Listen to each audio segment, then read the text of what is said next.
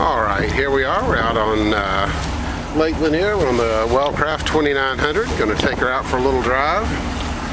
Show you how well she runs on this nice, cool fall day.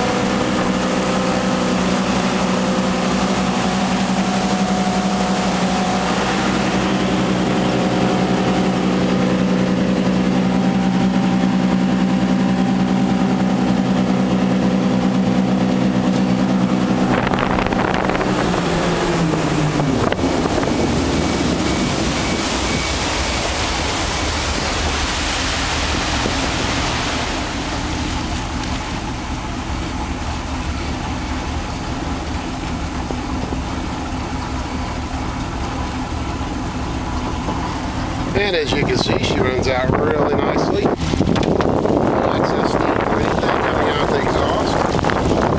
Very nice. Hope you guys have enjoyed your lake run. And she'll make a great boat for you and your family.